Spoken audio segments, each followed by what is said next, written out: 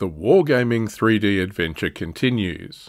This time I'm printing some accessories for Team Yankee, combat identification panels.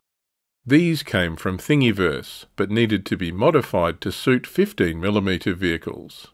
Join me to see how it turned out, and maybe you can print some for yourself.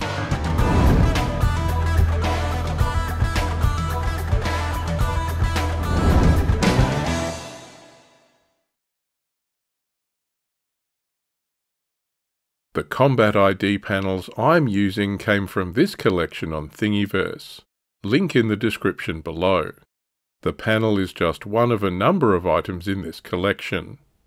I opened the panel file in Chitubox, my software of choice. This will let us prepare the STL file for printing, including scaling and adding supports. While this 3D model was ostensibly designed for 135th scale vehicles, the description says the models are not precisely scaled. To modify 135th scale items for use at 15mm, they should be printed at about 35%.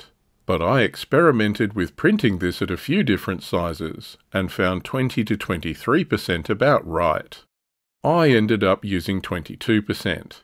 But at this size the piece is too thin, so I scaled the depth up from 0.8 of a millimetre to 1.2 millimetres. Make sure you uncheck the lock ratio button here or it will resize in all three dimensions, not just the depth.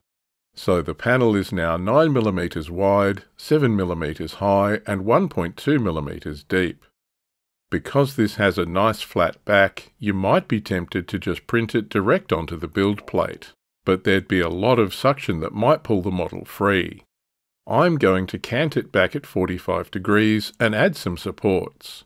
Starting with the auto supports, but I'm also going to go in and add some more.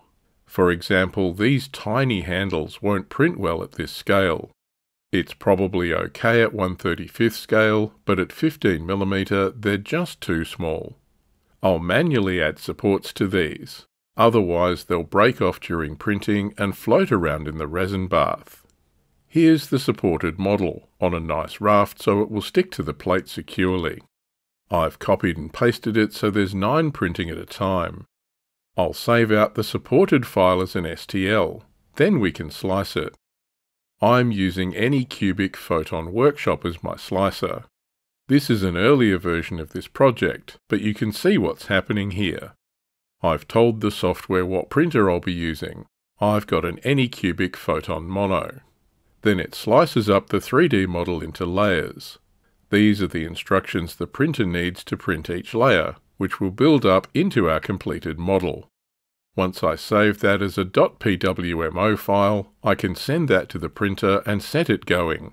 It says it will take about 35 minutes. While it's printing, let's talk about combat identification panels.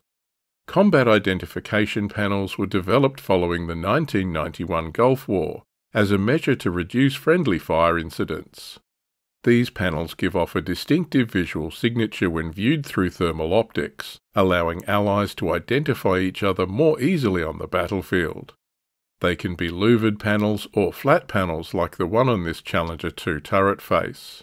They've been used in action since the 2003 Iraq War. Panels are used on main battle tanks, infantry fighting vehicles, and even on light vehicles like Humvees. Here's the end result. They're not perfect, but they'll do. I ended up catching a bit of dust in the grey primer I used. This will brush off before I paint them properly. Resizing these took a few test prints, but I'm pretty happy with them at 22% for 15mm. There are some visible lines in the print after I increased the depth proportion, but not enough to notice. And the thicker print is more realistically proportioned and sturdier. The handles are too delicate for 15mm, and I'll just remove these. The supports on them just stop these parts breaking off during printing. Combat ID panels are anachronistic for Team Yankee's timeline. They appear a few years later, but they look good on a model, and that's all that counts. Besides, my troops need something if they're going to go onto the table with American allies. Are these panels something you'd like to do for your miniatures? Are you going to give printing these a go? Let me know in the comments below. Thanks for watching. See you next time.